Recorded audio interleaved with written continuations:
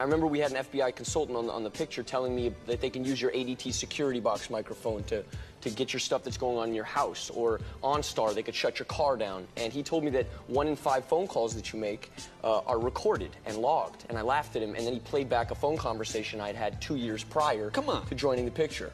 The FBI consultant. And it was like one of those, it was one of those phone calls, it was like, you know, what are you wearing type of things. Really?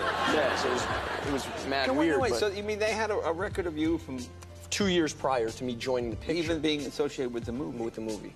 Well, that seems It's extremely creepy. Tim, is there any way? Now, obviously, it was a voicemail. They could they could try to get the the phone companies to give that up at this point. But if it's not a voicemail, it's just a conversation. There's no way they actually can find out what happened, right? Unless she tells them. No, there is a way. They, we certainly have ways in, in national security investigations to find out exactly what was said in that conversation.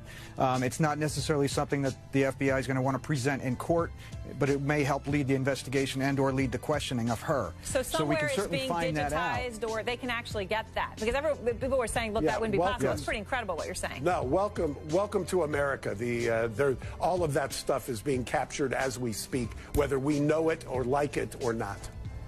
Note to self, as uh, Deb. Feyerick just said here. Yeah.